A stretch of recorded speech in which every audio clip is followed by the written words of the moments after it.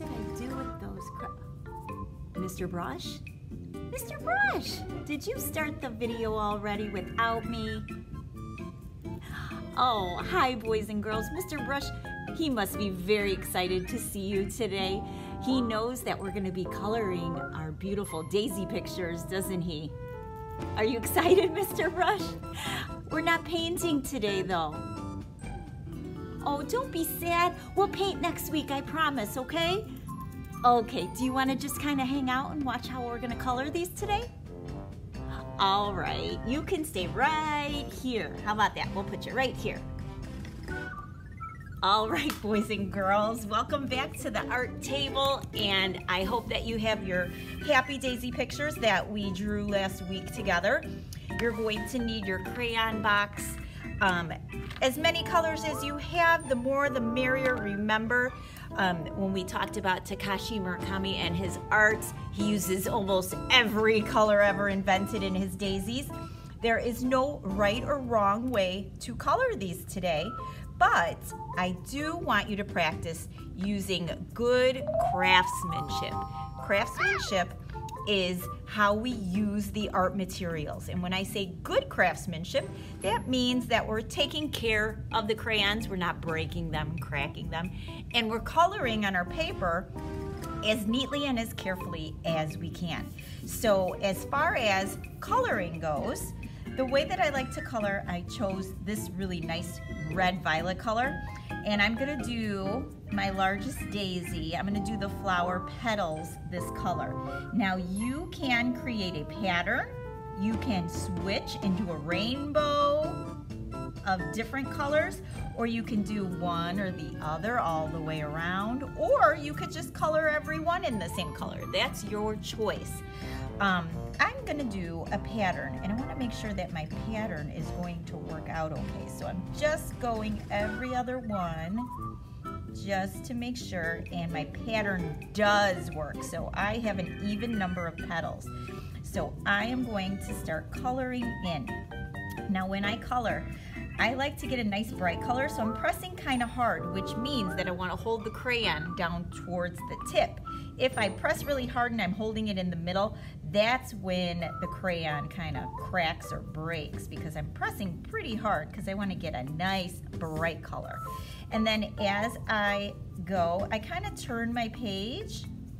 So I color in the lines as carefully as I can. And if you see, I'm trying to make sure that all of the white space is gone when I am finished.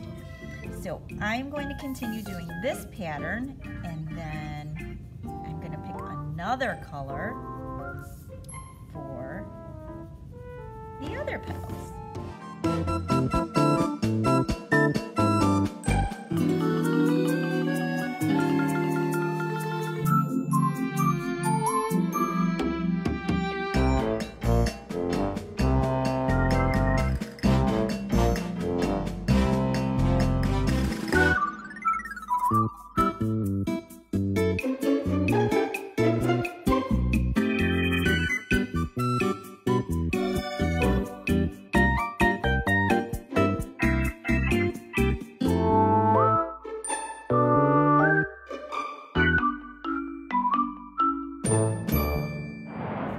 Friends, my petals are done and now I'm going to work on the face.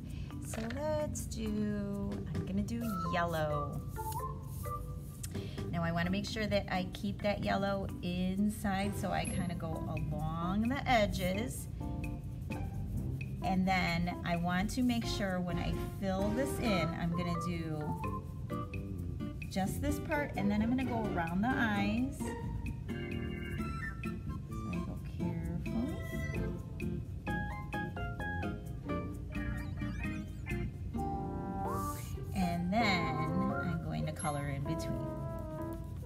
That helps me to keep it looking neat and I don't have any scribbles, don't have white spaces, and I stay inside the lines. This is really good coloring practice. Remember, the neater you color, the better your picture will end up looking when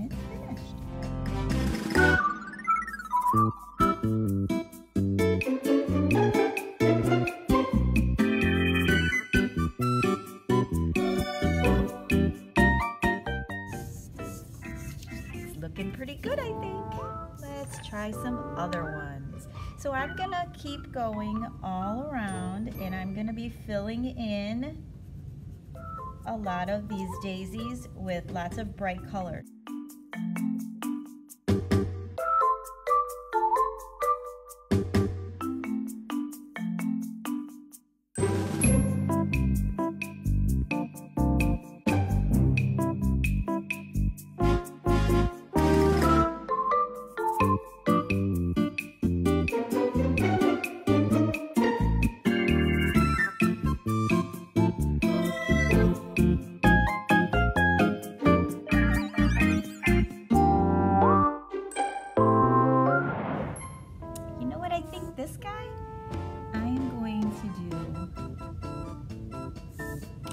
Rainbow.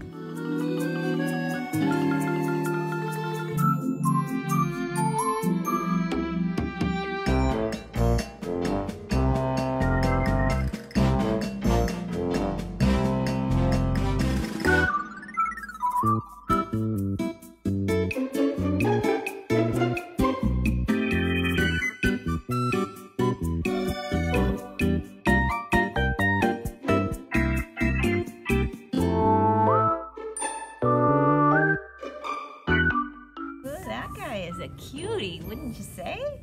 That one wasn't too bad. So you can follow that pattern. And then I'm going to give him his big red mouth.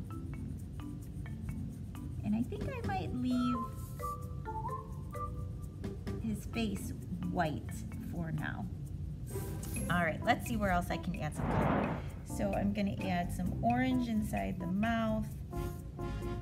And then after this, I'm going to stop and then I'm going to save my paper somewhere safe because then next week in all of the other empty spaces, we're gonna add some paint colors. So we'll use some watercolors and I bet I know who's going to be happy about that.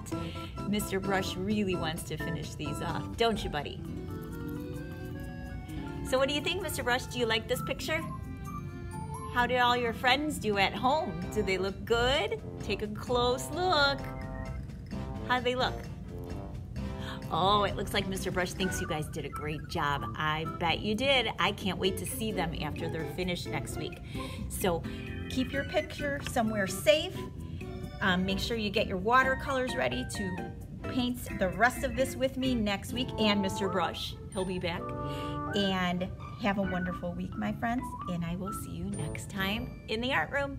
Bye.